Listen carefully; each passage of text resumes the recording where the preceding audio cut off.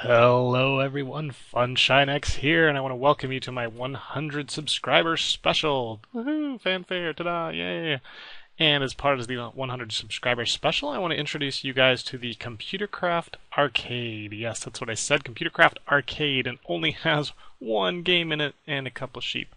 Uh, but this is going to be an awesome game. I'm going to build this out. There's going to be a bunch of fun games. I'll see uh, what I can do um, besides just normal arcade games, but I want to show you this one right away. Okay, so first what we have is our coin slot, and uh, that's going to need some ender pearls. Are our coins for this game? Let me find them. I think I there we go. And uh, if I go ahead and throw them in here, you can see the GUI here. Oh, missed. Alright, I can't remember how many coins it takes, but if we put in too many, they should come out one of these slots. Yeah, I think we put in too many. That's alright. Okay, so now we've got the coins in, so we can go and come up here. You see I, I only got a score of 5 last time. So uh, this is our entry block. Um, this I've got to fix an issue here. This should have came down once we put enough coins in, but nothing's perfect quite so far. I need to fix a couple more things. This is our controller, uh, a little nice little joystick here, but we can move it to the left or to the right to control our game. And this will be our start button. So I'm going to go ahead and press this guy. It's going to restart the computer.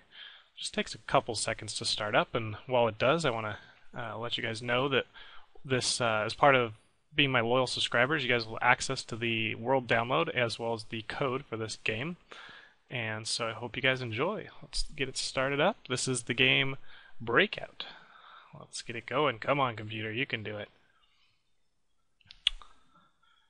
I put an arbitrary long timer in here just so I could talk, but then I determined I don't need to talk for very long. Here we go, 100 subscribers.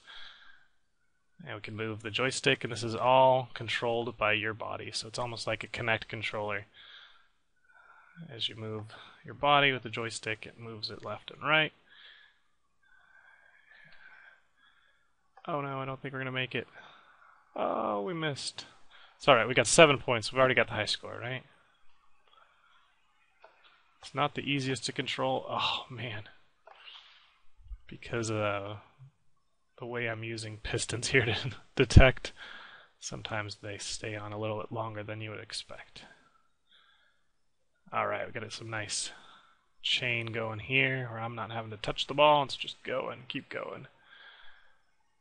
17 points. Move a little right, not too much. Alright, get all those. Nice. Go up top. Oh, almost. Yeah, oh, we're gonna make it. Yep, we're good. We're good. We're good. Not too far. Not too far.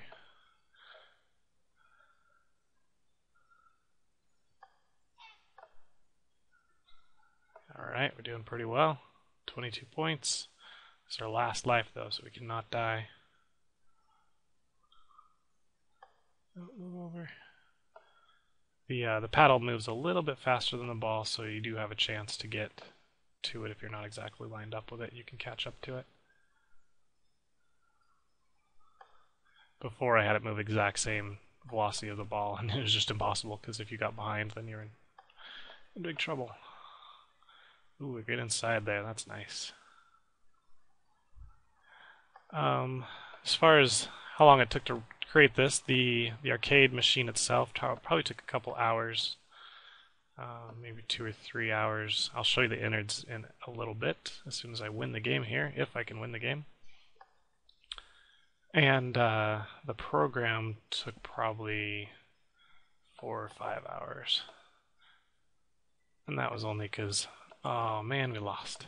You lose. 33 points. Not bad. Okay, so let's go and show you the arcade. Back behind here, we've got the monitor. And it's uh, just running here. It's connected, er, the, the terminal, sorry. It's connected to the monitor from the back. So you can see this texture pack makes it really cool. It looks like iron blocks, but it is a monitor. Uh, bundled cable up here, this is just for uh, debugging the kind of the controller. So as you move left and right, blue, yellow, and the reset button I think does pink. The coins do purple or magenta. We've got a disk where the program code is written, and then it comes down on in there into the thing. Let's go down there. I've got a solar array. I don't really don't need it anymore because I've got batteries, so that'll probably be removed from the world download before I give it to you guys. Up here, you can see that the yellow and the cyan are connected to the pressure plates via redstone signals, so whenever those go off, yellow or cyan will go off. Uh, that's the piston that opens the entry gate there, and that's on a green signal, so that I can control with the computer whether that goes up and down. Here I've got the coins, so you put the ender pearl in here, and uh, I've got restriction tubes right under that. So uh, if it's uh, the item detector, uh, this is the, the sorting machine, right? Or regulator. Yeah, these cool new regulators, awesome. Uh, this is basically on the left side is what the regulator can accept, and it takes two ender pearls. So this costs two ender pearls to start the game. Anything else, this will not be a valid entry for, so it'll go down the restriction tube path. Um, and unfortunately it can cross over and actually go into the other one for some reason. But uh, that's alright.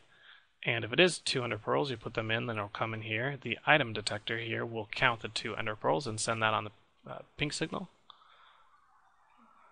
Okay, and this is the one that goes up to the computer. So really there's not a lot. Uh, down here is just a bunch of batteries. Uh, ender chest stores all my ender pearls so I can actually lock this thing up and then have a secret code here, maybe like green, cyan, pink, and then in my base I could have the same ender chest and collect all the coins from people playing my games. And uh, I think that's it for the middle, the inside here. So let's go up here and you can see the controller. This red thing is just made of uh, half slabs or whatever, so there's nothing much there. This one is uh, connected to the pink line. So when you reset it, uh, it'll get a pink signal, and I've got a uh, event in the uh, code that's waiting for a redstone event on the pink line. And if it does get one of those, then it reboots the computer, just like that. Maybe if I can aim on it. There we go. So it's rebooting, and I put a 30 second timer in there. Oh, it did kind of flush the piston. I think the piston's just got like a an issue with the coins, but yep, it's doing that, and that's pretty much it. I uh, hope you guys liked this. It's a nice short episode. Again, I'm going to clean up the code, fish out any bugs, and I'll put this up for download. So if it's not up already, uh, come back in a day. I just uh, was surprised I got over the 100 subscriber mark so quickly. Uh, you guys have been piling on last couple days. So I'm excited. That means I'll make a lot more videos for you guys and uh, computer craft tutorials and my Let's Play and uh, flesh out this Arcada. If you guys have ideas for games that you think would be cool in computer craft that would work really well with this kind of a joystick, let me know and I'll see if I can go about making them for you. Um, I want to see if I can make like a pinball game too. I'm not sure. You know, it's like because you can do flippers pretty easy, but I don't want to do it on a monitor screen. I want to do it more like I don't know, like a. Uh, don't know. This game doesn't have a lot of physics. I, it would probably have to be like sand or something. But how could you hit it with a paddle? really not sure. It's something I would like to do, but I don't know if the game physics would support that.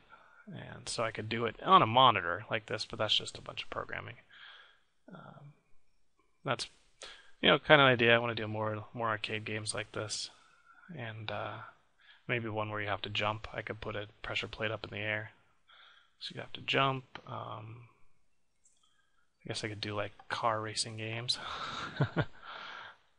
and uh, yeah, that's about it.